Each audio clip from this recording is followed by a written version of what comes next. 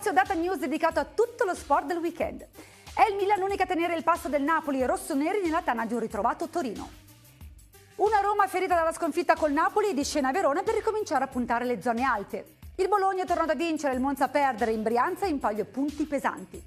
Quando si gioca a Torino, quella tra rossonere e granata è una gara equilibrata, con 7 pareggi nelle ultime 15 gare. L'approfondimento di Olivet TV propone il segno X al 30% la vittoria del Milan al 45%. 31 precedenti al Bentegodi tra Verona e Roma. In 16 circostanze entrambe le squadre hanno segnato almeno un gol. Su Olivet TV tutte e due le formazioni in gol sono previste con una probabilità pari al 55%. È la prima volta che Monza e Bologna si incontrano in Serie A. Il bilancio nei 13 precedenti in altre categorie è a favore dei Felsinei.